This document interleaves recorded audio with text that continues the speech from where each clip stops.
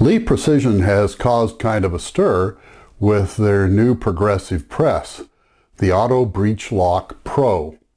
It retails for a little over a hundred dollars and uh, in this video I'll show you how I set mine up and show you how to avoid a couple of mistakes that I made and in a later video we'll see if it meets expectations and can load 300 rounds per hour which is a lot.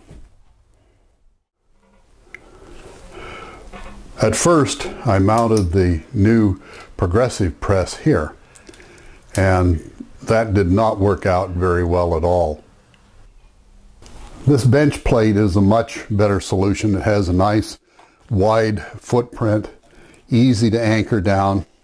You've got four Phillips screws here that you can loosen, and you can just pop your press out like that and exchange it for a different one. You don't have to have them all set up uh, permanently. So uh, I think I'm going to like that. It frees up a lot of a lot of space on my bench. The bench plate instructions clearly say to mount it even with the edge of the bench. Well, I checked my clearances with the handle up and I decided I had room to set it back a little bit. Well, I got kind of a, an unpleasant surprise a little later. As I brought the handle down the first time, I discovered I had a little bit of interference between the primer disposal tube and my bench.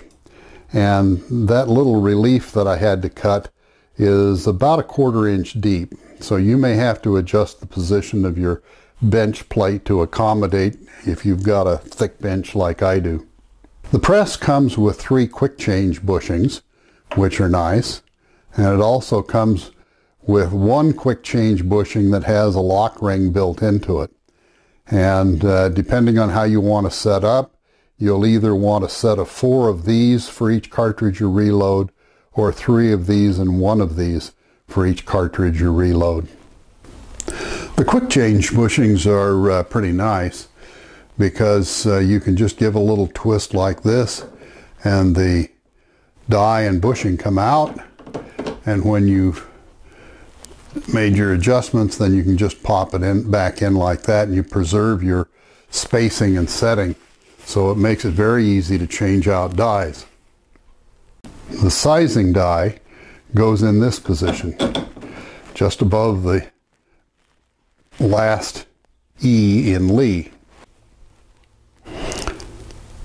You can adjust the depth so that it just touches the shell plate as you bring the handle down.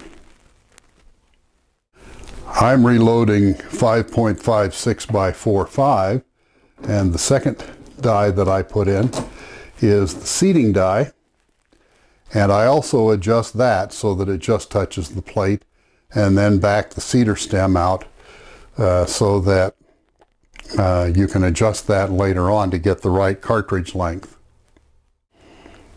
The third die to go in is the charging die and you want to adjust that to a depth so that your powder dispenser operates properly and if you're doing pistol cartridges so that your uh, uh, case belling is about right.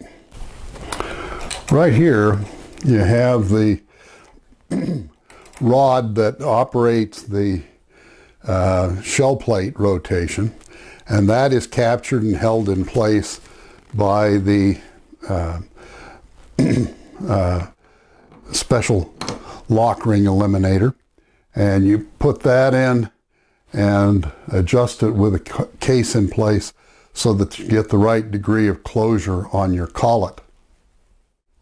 Each of the stations has one of these little keepers that you can just swing out of the way if you need to get in and work on something on that station. Just for a uh, quick check, I'm going to lube a single case. You'll want to probably do those in batches when you're really producing cartridges. There, that's lubed. Now, bring the handle down and drop the case in the hole. Uh, with your other hand, put a primer in the primer cup. and get yourself a bullet. Okay, bring the handle up. That will rotate the case into place. Bring it up to size it and deprime it. Bring the handle down and up to uh, prime the case. Uh, go ahead and charge it and then it'll rotate to the next position where you'll put a bullet in place and